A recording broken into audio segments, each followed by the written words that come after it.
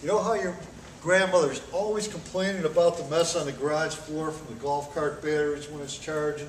Well, E-Z-GO got this new product out right here that I just got. And this thing is really great. You, this is a mat that you put down on the floor, and it's really cool.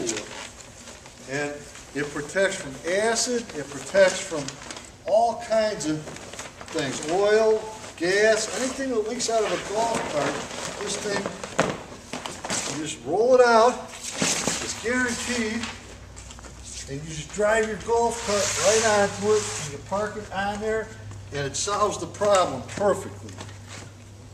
It's Acid resistant, nothing gets through to the floor, so the floor is always good. Release that brake, and let's pull it up on it.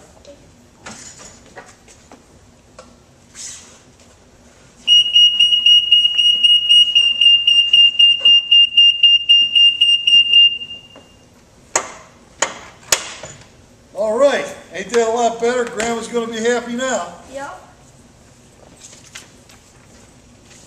And now, our famous